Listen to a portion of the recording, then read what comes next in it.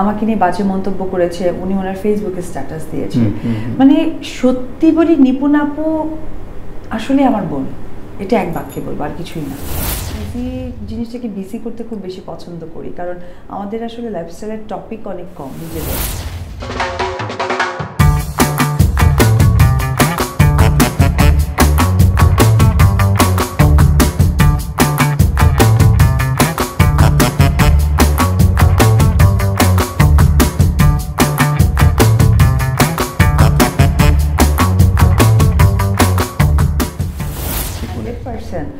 নিপুণ আপু সত্যি বলি উনি রিলিজন মুসলিম আর নিপুণ আপুর জন্য। না হলে উনি একদম আমরা এক বোন মানে এক মার পেটের বোনের মতো। আচ্ছা। আমার বিপদের সময় উনি যেভাবে আমাকে নিয়ে সামনে কথা বলেছেন আমাকে যেভাবে সাহস দিয়েছেন মানে সোয়ার আপন গড এটা অনেক বাড়তি কথা মানুষ মনে করবে ওনাকে পাম্পটো দিচ্ছে। নো এটা আপুও জানে। এই জায়গা থেকে উনি আমাকে অনেক সাপোর্ট দিয়েছে একদম নিজের বোনের মতো করে। আচ্ছা, আচ্ছা, কি আচ্ছা। লাগবে অপু?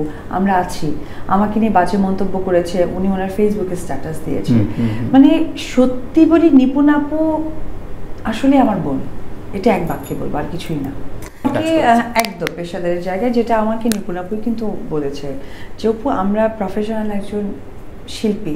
আমাদের পরিচয় কিন্তু শিল্পীর জায়গা থেকে। আজকে আমি নিপুণ আমাকে চেনে নায়িকা থেকেই। তুমি অপু তোমাকে চেনে নায়িকা থেকেই। সুতরাং প্রফেশনের জায়গাটা একদমই স্বচ্ছ আমরা। আচ্ছা আচ্ছা। এটা এটা একদম আপুর কথা এবং এটা আমি নিজেও মানি। ওকে. এক একটা মানুষের ইচ্ছা প্রচণ্ড অন্যরকম হতে পারে। সেটা দেখার মানে সুযোগ আমার নেই আর সেটা দেখ- দেখতেও আমি যাব না। কারণ প্রত্যেকটা মানুষেরই ব্যক্তি স্বাধীনতা আছে। আমি কাকে ভালো বলব কাকে মন্দ বলব কোনটা আমার চোখে ভালো লাগবে এটা আমার একান্তই ব্যক্তিগত। তো আমি একজন শিল্পী। আমি যখন যেই কাজের জায়গাটা মানে শিল্পীর জায়গা থেকে যখন আমি দেখব যে এই জিনিসটা আসলে নতুনত্ব সেখানে তো আমার বাহবা বলতে পিছু হওয়ার কোনো কারণ নেই। সিম্পল সিম্পল জিনিসটাকে আমরা আসলে ইজি জিনিসটাকে বিজি করতে খুব বেশি পছন্দ করি। কারণ আমাদের আসলে লাইফস্টাইলের টপিক অনেক কম নিজেদের।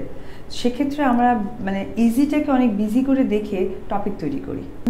এটাই বেশি মজা লাগছে। এই জন্য মজা লাগছে যে সব কিছু নিজে করছি। এবং এটার মধ্যে না একটা আলো, আলাদা একটা মজা পাওয়া যাচ্ছে। মানে কোনো মিসিং নাই। লাইক আমাকে ভয় দেখানোর কেউ নেই। আচ্ছা আমি এটা করছি না। সে চলে গেল। আমার ওই জায়গাটার গ্যাপ হয়ে যাবে ওটা ফিল আপ কীভাবে করবে? হ্যাঁ।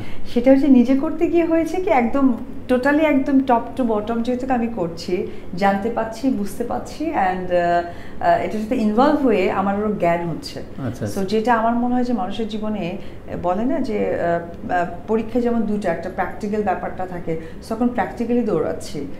এটা আমার জন্য সত্যি এনজয়মেন্ট অনেক ভালো লাগে। আমি স্পেসিফিক বলব না ওভারঅল লাইক এখন আমি গল্প বুঝি।